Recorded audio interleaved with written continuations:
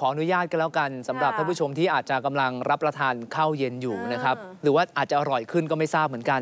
ไปดูคลิปนี้ที่เกิดขึ้นที่ประเทศจีนหน่อย มีคุณแม่ท่านหนึ่งป้อนอาหารให้กับลูกน้อย ดูเผินๆเนี่ยเหมือนไม่มีอะไร แต่ในชามนั้นคืออะไรครับโอ้อะไรดำๆคะอะไรดำๆนั้นแล้วมันว่ายไปว่ายมา ปรากฏว่านี่คือลูกออสฮะลูกออสหรือว่าลูกกบนี่แหละค่ะในช่วงเป็นลูกออสอยู่ นี่คือสดๆเลยนะครับ ไม่ได้ปรุงสุกแต่อย่างใด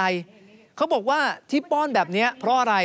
เพราะเป็นการบำรุงร่างกายให้แข็งแรงค่ะคือชาวจีนเนี่ยเขาจะมีความเชื่อเรื่องของอาหารการกินเยอะมาก ว่าการทานสิ่งนู้นสิ่งนี้สิ่งนั้น แล้วมันจะไปเป็นการบำรุงร่างกายให้ร่างกายแข็งแรงค่ะมีสมรรถภาพที่ดีนะครับสำนักข่าวซินหัวของจีนโหสำนักข่าวเลยนะ เผยแพร่คลิปนี้ออกมาแล้วก็เป็นคลิปที่หลายคนเนี่ยเขาไปวิพากษ์วิจารณ์นะครับว่าผู้ใหญ่คนหนึงกำลังตักลูกออสที่ยังมีชีวิต ป้อนใส่ปากเด็กอายุไม่กี่ขวบ โดยเชื่อว่าการทานลูกออสสดๆเนี่ยเป็นการช่วยบำรุงร่างกายให้แข็งแรงด้วย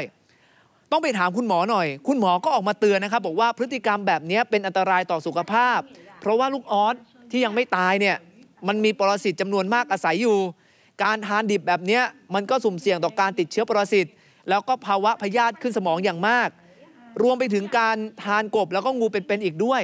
นี่แหละนะฮะแล้วเนี่ยยังเป็นเด็กอะคือถ้าผู้ใหญ่ทานเข้าไปเนี่ยอย่างน้อยผู้ใหญ่อย่างเราเนี่ยยังมีภูมิต้านทานถูกไหมค่ะโรคเนี่ยอาจจะยังไม่เกิด แต่เด็กอะภูมิต้านทานเขาต่ำอะพอทานเข้าไปปุ๊บไม่รู้ว่าพยาธิเอ่ยปรสิตเอ่ยมันจะไปสะสมร่างกายเขาเมื่อไหร่ค่ะแล้วจะส่งผลกับน้องเขาเมื่อไหร่นะครับโอ้โหอันนี้คือ